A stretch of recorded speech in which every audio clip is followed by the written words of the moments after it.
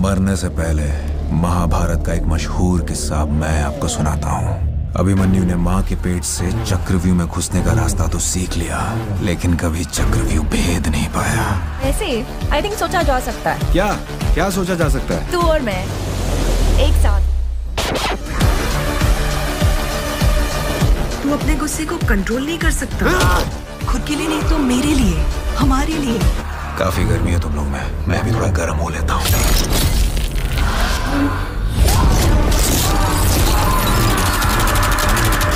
आपको लगा कि मैं अभिमन्यु हूँ। मैं उसका बाप हूँ, अर्जुन।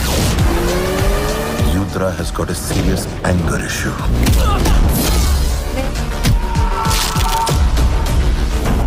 बिल्कुल अपने बाप पर गए हो। किरिश, बिल्कुल तुम्हारी तरह था। पंगे लेने का शौक था उसे।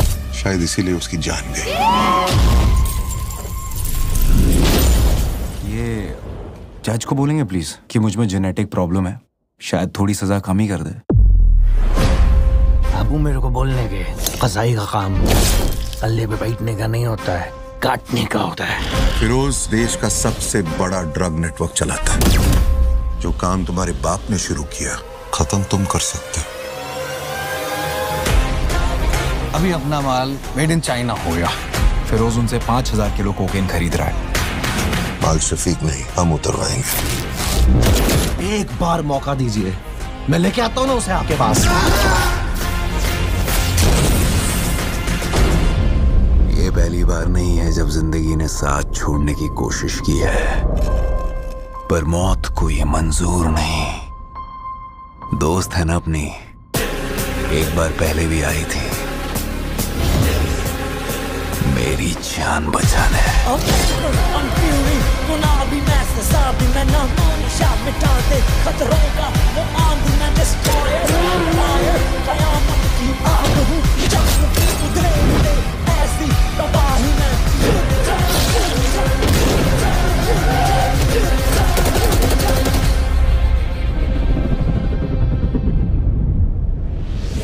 कौन है बे? क्या चाहता है? जानना चाहता हूँ लोग मरने से पहले ऐसे बेवकूफ़ी भरे सवाल क्यों